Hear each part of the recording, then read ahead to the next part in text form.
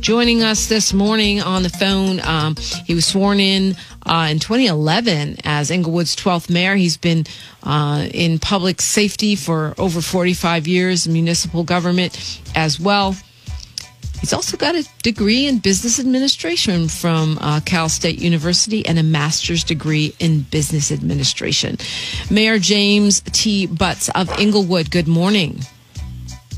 Good morning, Dominique.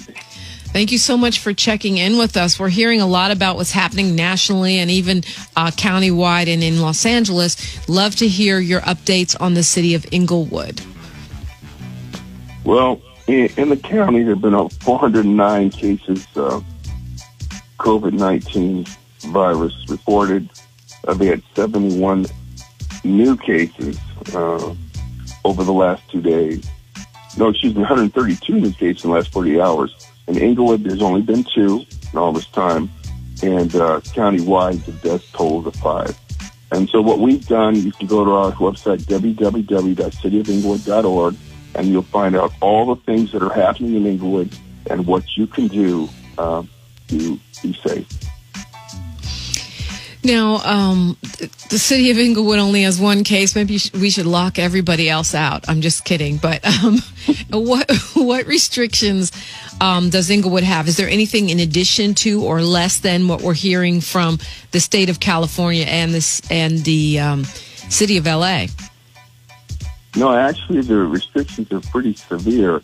Parks are closed. Uh, all non-essential businesses are closed, and just recently, I would be was yesterday, they modified the state's order to include nail shops, barber shops, and hair shops, which is uh, pretty severe.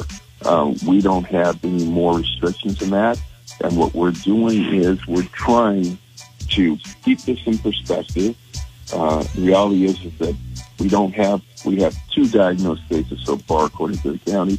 They're both two individuals in one household, and uh, they're self-quarantining. So we hope that soon the state will lift these restrictions and let people get back to work. And in the meantime, if the government is going to force people not to work, then every American should receive rental or mortgage assistance of $2,000 a month until this crisis is over. You can't use the power of the government to tell people they can't work without compensating them. Well, I think that's a really, uh, really good way of putting it, uh, Mayor Butts, because of course you are a business uh, man, so you're going to look at it that way. This is not like welfare. It's like if you make it impossible for me to work, then you've got to make a way for me to get by. And when I keep I keep hearing about you know delays and being able to pay your bill, forbearance and delays, and I'm concerned that we come out of you know two weeks, three weeks, two months, whatever it ends up being, and we've got all these bills piled up. And you know how do you Dominique, catch up? Dominique, that makes no sense at all. They're yeah. talking about spending billions of dollars to bail out the airlines and maybe, yeah. well, they should do that. But it is not welfare. It is not a handout. It is you're exercising the power of government to say that people can't work for a public purpose, but they should be compensated for that. That goes hand in hand with exercising your power to protect people. You can't protect people and then starve them to death. Yeah, it doesn't make any sense. And uh, um, I'm glad that you know you you're putting in in such a clear manner because I'm hearing this and what I hear is for me I hear worry. I don't want to have so many bills piled up that I can never dig out of that um, you know that backlog. Even if I've been forgiven you know late fees or whatever, I still don't want to have three months of DWP or three months of mortgage piled up. Um, what about small businesses? You're a businessman. So many small businesses are really being forced to close. They're probably going to go out of business. I'm worried, you know, I always talk to you about gentrification. You know, that's a pet peeve of mine. I'm worried that we'll wake up after this COVID thing and find no black businesses. What can businesses do right now to, you know, to protect themselves? But let me tell you something. Business owners, black, white, and brown, no business can survive if this extends months long with no income and still required to pay leases.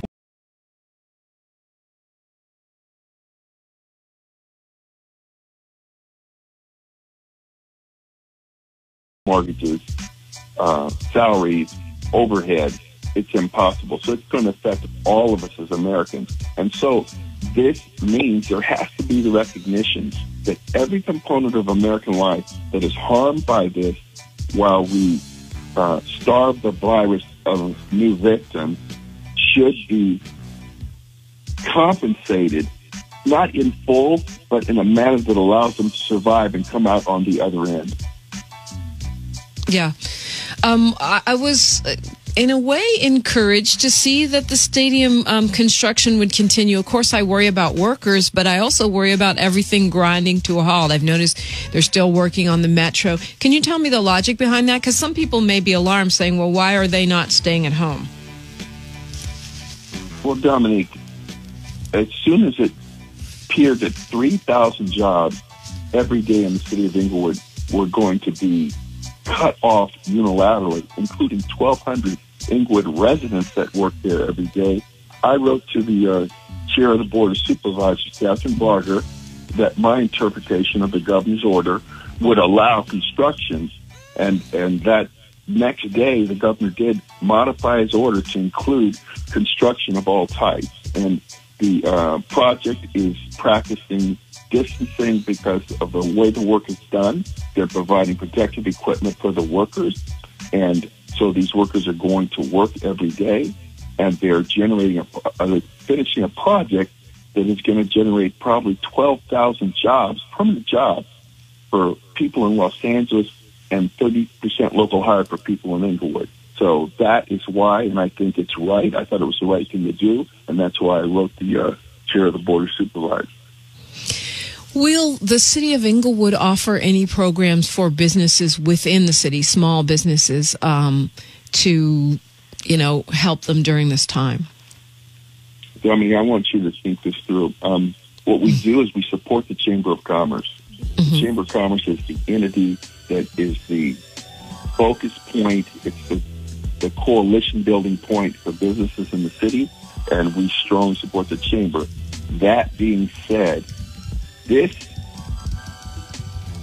this quarantine situation that we're in, it's going to probably cost the city about twenty million dollars in tax revenue when it's all said and done for the year. If we had not built our reserves over to over fifty nine million, we would be out of business when this is over with. I am concerned for the cities that don't have the reserves that Inglewood has generated. So when you talk about what's the city going to do, the city is one of the the um, victims of this crisis as well, because we have to still provide police, fire, um, and all the services for our residents. So um, this is something that we're all in together. No doubt. Um, for people that you know uh, want to help some way, what would you suggest? I mean, you're, you know, there's a, there is a lot of Inglewood pride. There's a lot of people that are willing to volunteer, but right now, you know, folks are supposed to stay home. Well, that's a that's a pretty much a double edged sword. If if the purpose is to keep people away from potential infections, to allow 14 days to pass for the people that have been infected with the virus for them to be uh, non-contagious, then to do things as noble as they might sound provides more opportunity to transmit the virus. So I wouldn't recommend that. So keep your butt home. Uh, I said it. The mayor didn't. No, I didn't. Uh, say, I didn't say keep your butt home. No. no, he didn't say that. He never said it. Um, you know, we're hearing a lot of rumors, Mayor uh, James Butts. And you, you always seem to have your uh, finger on the pulse. Um, people, I, I, don't know if you heard the the gentleman from um, Watts who called earlier is saying that he's worried. He's hearing that people are infected at King Hospital, even though we've heard on front page from a doctor who works there that says they're not. Um, we're hearing a lot about the possibility of uh, quarantines, you know, much stricter quarantines in the city or even on a federal level. Are you? Can you speak on anything like that? I would tell you this: there is nobody that knows exactly the situation. The ah. governor gave out an estimate uh, yesterday that before it's over and done with, that 25.5 million Californians will be infected with this virus. There are only 40 million in the state of California. That means they think 56% of the population will have the virus. So what they're telling you is nobody really knows how deep the well is. But the hope in that is that means there are will be millions of people that have the virus with no symptoms. So that doesn't mean that it's going to be fatal in, in any large numbers. And this may end up being something that a vaccine is developed for or that people develop antibodies against just as we do against the flu.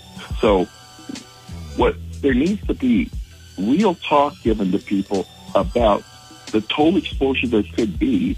And the thing is, we don't need to kill everyone's economic dreams while we sort our way through this. So yeah. we don't need to panic.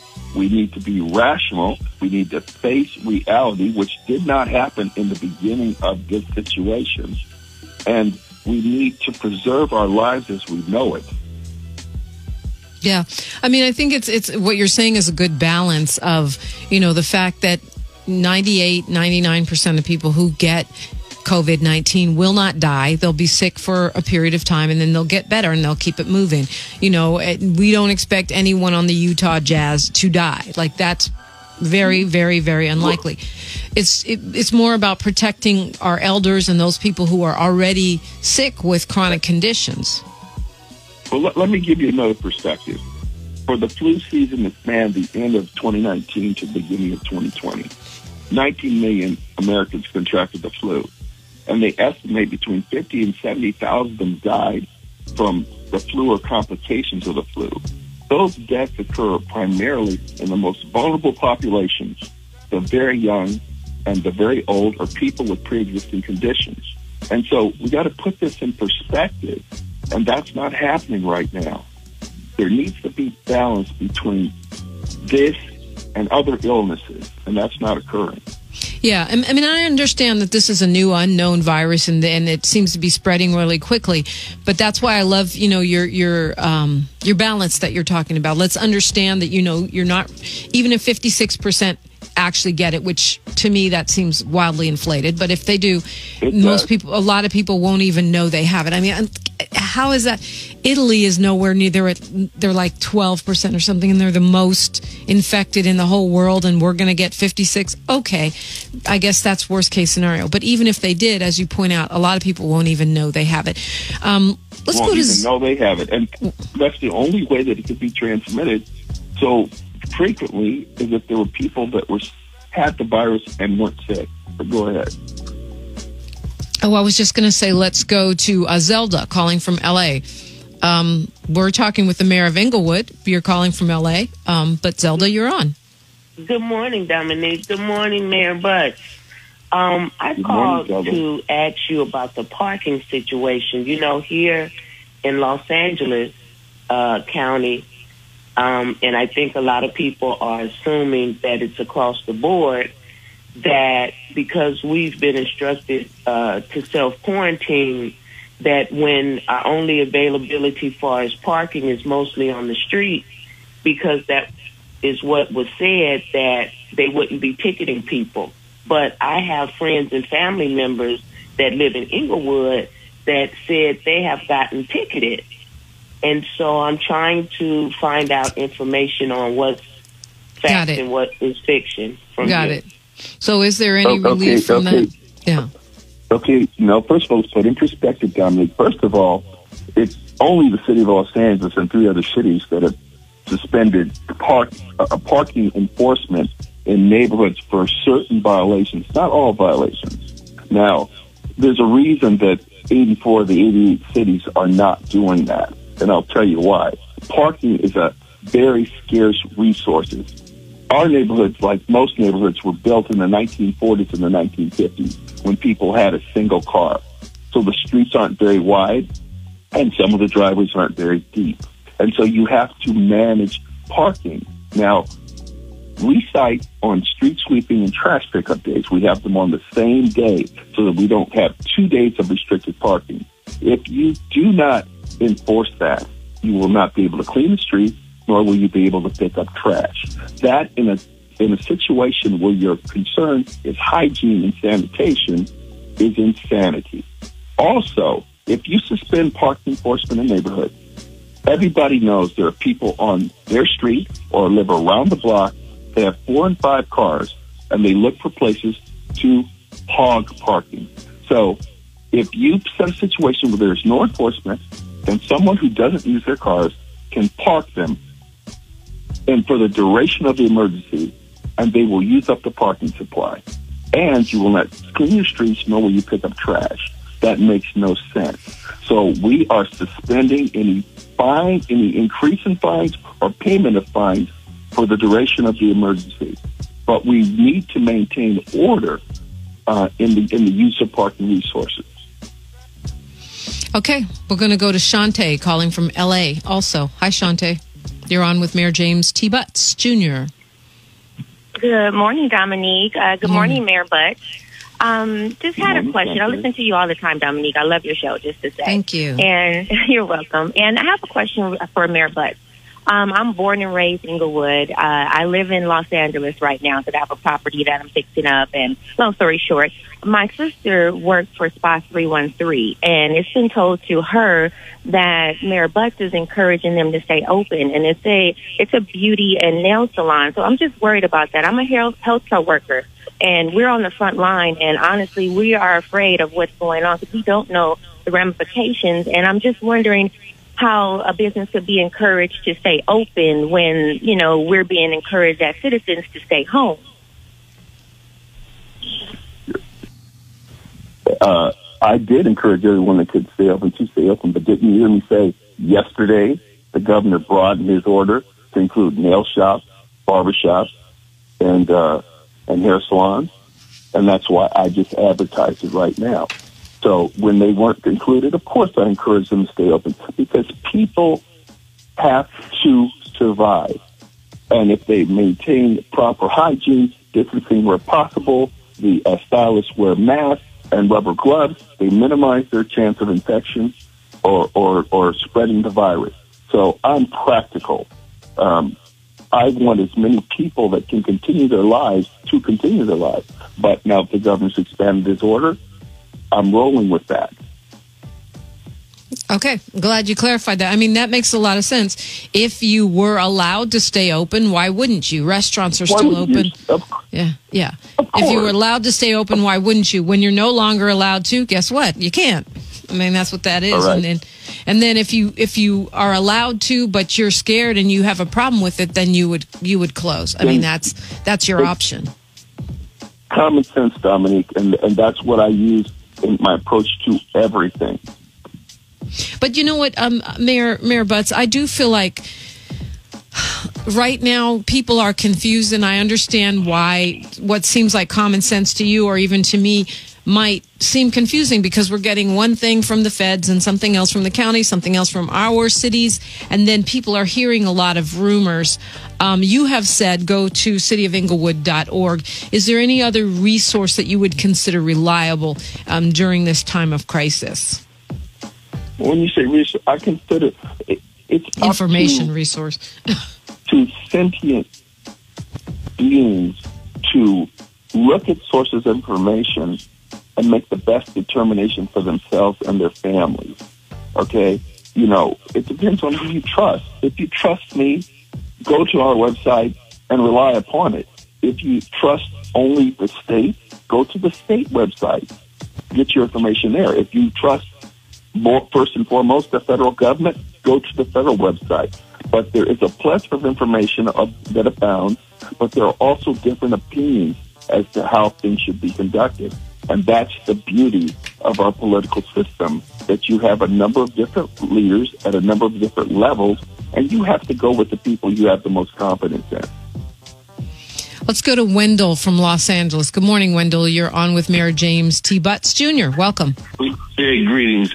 Hey, Mr. Mayor, I'd just like to ask one question of you. Uh, are there any plans to build a state of the art medical center to serve the city of Inglewood? You don't know how many times I question.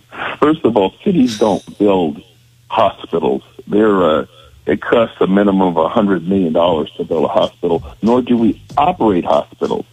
They're extraordinarily expensive endeavors uh, to run, And so there's usually uh, a combination of private funding in a for-profit hospital that is supplemented by state and county dollars to operate trauma or uh, emergency uh, trauma centers. And that's what it takes. So the city, its budget is about, for uh, general operating funds, about 128 million a year.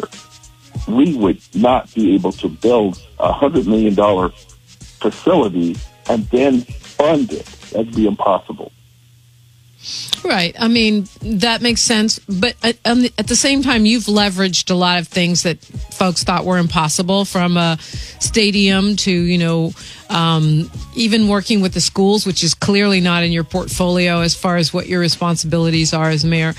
So I guess. the LA bill here too. Right. Yeah. So you can't get, you know, you can't be um, upset if people expect you to do things that may be considered impossible. I, I, I am not upset at all. And what I have done is work to get funding to assist Centinela Hospital, and we'll continue to work with them to improve their emergency uh, uh, treatment facilities. If we could get them to be authorized to be uh, a trauma center, it would be wonderful for the city and wonderful for the region.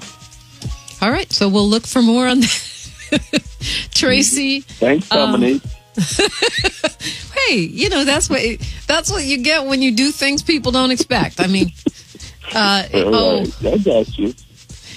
It's Radio Free 102.3 KJLH, Compton, Los Angeles, Long Beach, and Inglewood. It is time to pass the mic to Steve Harvey, uh, Mayor James T. Butts Jr. Thank you so much for being with us. Just quickly, what would you leave us with this morning?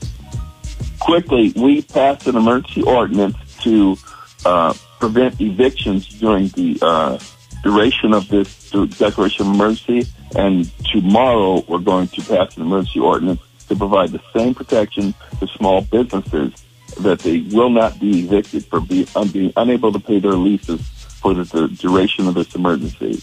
And I also am encouraging our elected representatives at the federal level to provide a subsidy for both business people and renters and mortgage holders for the duration of this emergency.